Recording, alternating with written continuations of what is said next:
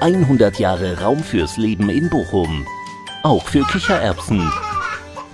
VBW Bauen und Wohnen.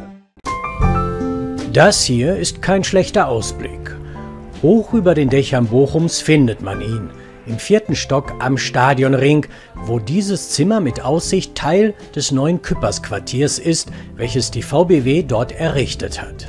Wir kommen mit der Kamera genau richtig, denn an diesem Tag wird die ganze Siedlung eingeweiht. Mit Oberbürgermeister und in diesem Fall mit allem Zip und Zap. Ein ganz besonderer Moment nach neun Jahren Umbau- und Neubauzeit. Das kann man eigentlich mit Worten nicht mehr ausdrücken, das, weil das ein Gefühl ist. Und äh, wenn es Ihnen einmal äh, so, so kalt den Rücken runterläuft, dann wissen Sie, was Stolz ist. Und das bin ich heute ganz besonders, weil es einfach schön ist, nicht nur zu sehen, was man hier zusammen erreicht hat, sondern weil es besonders schön ist, dass man sieht, dass die Mieter und die Eigentümer hier gemeinsam mit dem Vermieter und dem Verkäufer auch gemeinsam feiern können. Das ist ein großes Lob. Da strahlen Bauherr und Mieter um die Wette. Was ist hier alles entstanden? Eine neue gute Adresse mit Namen Küppersquartier.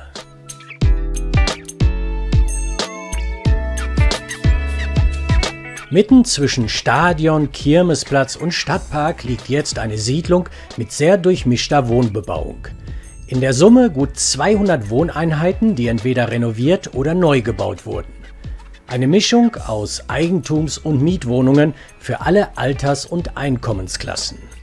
Ein neues Vorzeigeviertel für Bochum, was auch ein bisschen was gekostet hat. Wir haben hier insgesamt, inklusive, das muss ich noch abrunden, mit den 13 Gewerbeobjekten hier zur Kastropper Straße rund 40 Millionen Euro in diesen rund neun Jahren an diesem Standort investiert. Dafür gab es dann auch besondere Extras. Ein großer Innenhof mit Spielplatz, speziell überdachte Parkboxen und neue Eingangsbereiche. Extern angebaute Aufzüge und Balkone und ganz viel Grün. Das alles im geografischen Mittelpunkt zwischen Tierpark, Stadtpark und Stadion. Also besser geht's nicht. Der VfL ist da, die, die Nähe zur Stadt ist da, die Infrastruktur ist da, also alles top. Ein Blick zurück in das Jahr 2013. Da gab es am Stadionring noch die alte Bausubstanz, die gerade abgerissen wurde. Im Jahr 2007 wurde mit dem Projekt Küppersquartier gestartet und hier im Jahr 2013 gab es auch schon fertige Häuser. Rechts in Rot und links der Abriss am Stadionring. Kurze Zeit später sieht man dann die Brache, wo in den folgenden Jahren der Neubauteil des Küppersquartiers entstehen sollte. Und es gab eine planerische Vision. So sollte es dort einmal aussehen. Und so sieht es dort jetzt auch aus.